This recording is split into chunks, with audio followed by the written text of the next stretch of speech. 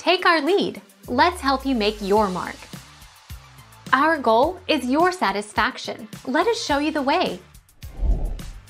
Taurine is an enzyme that is derived from animals. Now it being halal or haram depends on two main aspects. If it is animal-based then it should be for an animal that was a halal animal slaughtered in a halal way keeping in mind the Islamic rulings.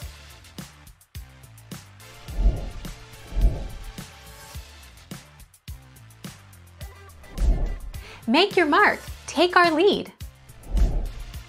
No, but the ingredients and manufacturing processes used by the Coca-Cola Company are rigorously regulated by government and health authorities in more than 200 countries, including many where Islam is the majority religion.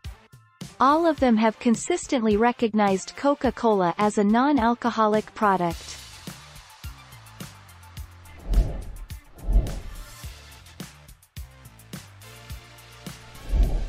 Make your mark. Take our lead. We are happy to confirm that our drinks, including our yogurts and sorbet, contain no meat products and are alcohol-free. Whilst we use a wide range of ingredients in our smoothies, and while some of these individual ingredients may be halal certified, we are not independently halal certified.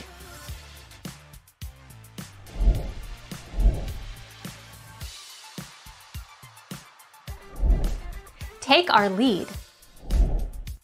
Alcohol in Islam linguistically, Khamr Arabic for wine, is alcohol derived from grapes. This is what is prohibited by specific texts of the Quran, c. 5 to 90. Therefore alcohol is categorically unlawful, haram, and considered impure, najis.